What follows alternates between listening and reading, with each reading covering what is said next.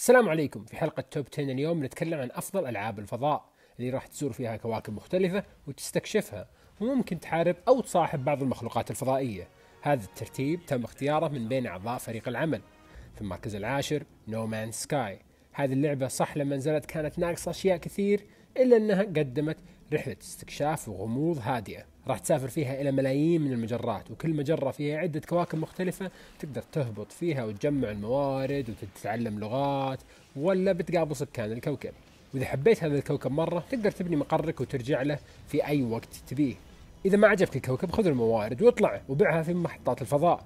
أي واحد لعب اللعبة لما نزلت بيلاحظ الآن فيها فروق كبيرة صار تقدر تبني مزرعة تسوق سيارات واللعب على الشبكة مع أصحابك. كل هذه العوامل. لو كانت متوفرة وقت صدور اللعبة كان بيكون ردة فعل الكل مختلفة ما عدا قوائم اللعبة. هذه صراحة مرة متعبة. في المركز التاسع Alien Isolation. إذا لك في ألعاب الرعب اللي ما تقدر تدافع فيها عن نفسك 100% فلعبة Alien Isolation هي لك.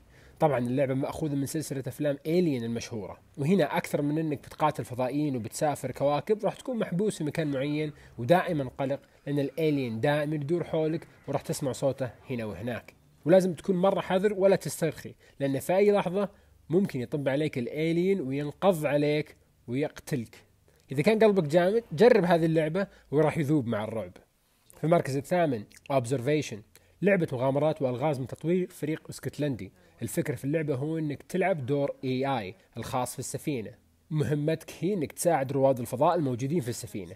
لكن مع السفر الأحداث تتطور وتصير مواقف ما تتوقعها. اللعبة مليانة غموض ولحظات تفكير ممتعة مع بعض الألغاز اللي راح تحلها. إذا قد تابعت فيلم 2001 A Space Time Odyssey والفيلم Interstellar فهذه اللعبة أفكارها مستوحاة من هذول الفيلمين لكن وضعوا لمستهم الخاصة. في المركز السابع Outer Worlds لعبة action RPG بالمنظور الأول. مثل ألعاب ال RPG راح تصمم شخصيتك في بداية اللعبة ولما تتقدم بتجيك سفينة فضائية خاصة فيك واللي راح تكون مقرك الأساسي في اللعبة. مع تقدمك في الأحداث راح تقابل شخصيات كثير وإذا كان أسلوبك حلو في الكلام تقدر تخلي بعض هذه الشخصيات تنضم معك لفرقتك حتى يساعدونك في القتال. ومو بس كذا لأن كل واحد ينضم لك له قصة خاصة وفيه مهمات تقدر تأخذها حتى تتعرف أكثر عن هذه الشخصيات. طبعا تقدر تضم عدد كبير لك لكن بس اثنين يقدرون يتحركون معك طوال الوقت. فاختار الشخصيات المناسبين على حسب المواقف اللي أنت فيها لأن كل واحد له قدرات مختلفة. اللعبة تقدم لك طريقة قتال مختلفة مثل الأسلحة ولا الضرب باليد. هذا غير إنك تستعمل ميزة ال tactical time dilation اللي تبطئ الوقت وتوضح دم الأعداء. الكتابة في اللعبة متعوب عليها وفيها لحظات كوميدية ظريفة. فإذا تحبون ألعاب ال RPG العميقة لا تفوتكم. في المركز السادس Prey فريق Arkane الفرنسي المبدع اللي أعطانا لعبة Dishonored صمموا لعبة Prey بشكل مختلف عن الجزء السابق وتعتبر إعادة تخيل للعبة. في هذه اللعبة راح تلعب بشخصية مورغان يو اللي راح تستكشف فيها المحطة الفضائية تالوس 1 اللي تدور في مدار حول الأرض والقمر. في هذه المحطة جالسين يعملون أبحاث عن مخلوقات فضائية عنيفة اسمهم التايفون. ولما هرب التايفون من مكان الحجر في المحطة تبدأ أنت هنا بقتالهم بأسلحة مصنعة من هذول الفضائيين نفسهم. اللعبة من نوع ألعاب المنظور الأول مع عناصر ألعاب النجاة وحبتين من ال RPG والتخفي. اللعبة مرة ممتعة وفيها أسلحة رهيبة توسع من حس الاستكشاف عندك. في المركز الخامس Mass Effect 2 لعبة ال action RPG من تطوير BioWare وتعتبر تكملة مباشرة لأحداث الجزء الأول. أحداثها تدور في مجرة درب التبانة في القرن الثاني والعشرين وفيها البشرية مهددين من ال insectoid وفيها اللاعب يتحكم Commander Shepard بالمنظور الثالث. واللي كان يميز هذه اللعبة إذا كان عندك تخزين للجزء الأول فقراراتك فيها بتغير أشياء كثيرة من أحداث الجزء الثاني. اللعبة فيها ست كلاسات مختلفة وكل واحد منهم له قوات خاصة وأسلحة خاصة منهم المناسب للقتال بشكل قريب واللي يعتمد على التخفي.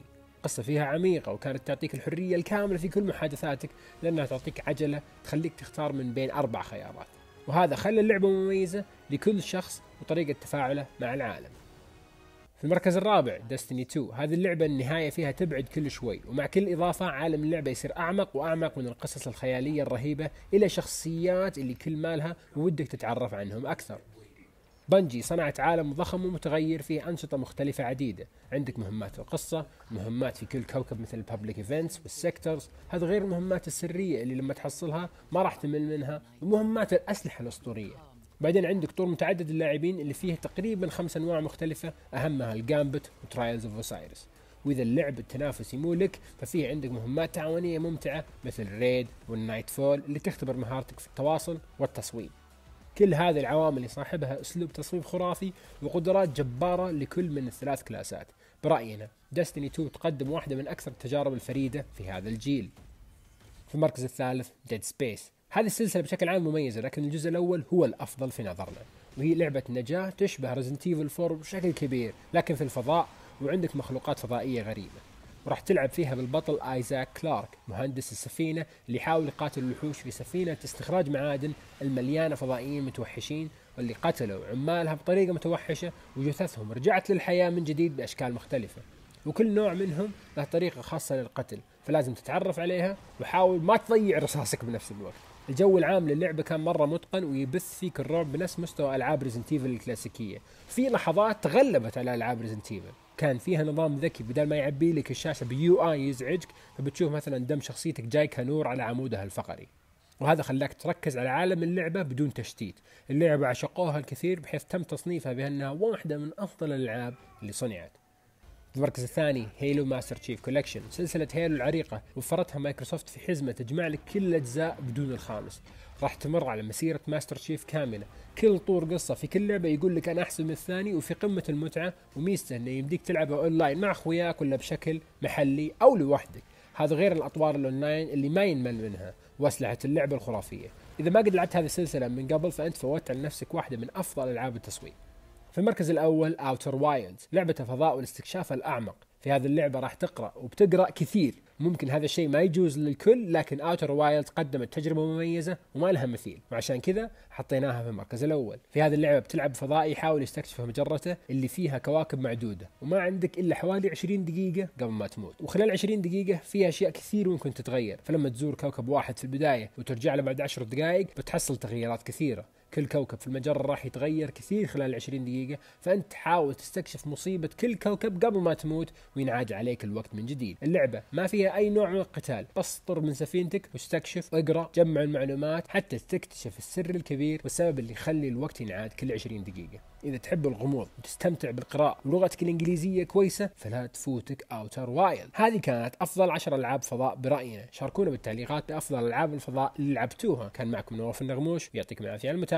ومع السلامة.